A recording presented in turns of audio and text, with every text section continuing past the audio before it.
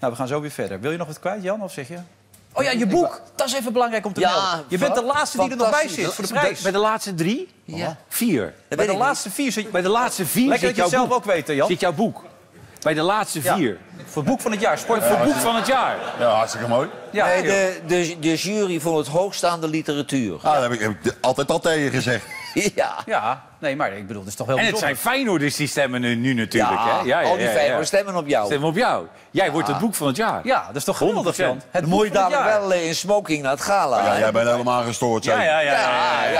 Hey, Je denkt dat ik even met zo'n butterfly. Hij Ja. ligt hier helemaal niet meer. We Het toch van Nee, maar is jongens, gejat. die roven ze meteen weg, die boeken van jou. Ja. Die leg je een avond neer en weg Ja. zijn ze. Hans Kraai ligt er al jaren. Ja, ja. je? Wil iemand het boek van Hans? Ja? Nee, niemand? Nee.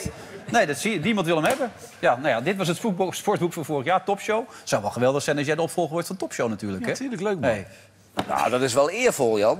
Om Ja. op- Ah, jongens, ga dat eruit, joh. Wat voor Ja, wel, nou man. Ja, met rust, met Er ligt boek. nog een blad. Heb je dat wel eens zien liggen? Ja, zeker. Ja, leuk blad, man. Ja, het blad Voetbal International. Waar jij hoofdredacteur Nee. Voetbal International, die besprak je daar, hè? Oh, ja, dat is wel niet zo, hoor. Insight. Voetbal Insight, inderdaad, ja. Ja, ja. maar heb ik maar 39 jaar gezeten bij dat andere blad. daarna heb je het kapot laten gaan. Nee, Ja. sorry.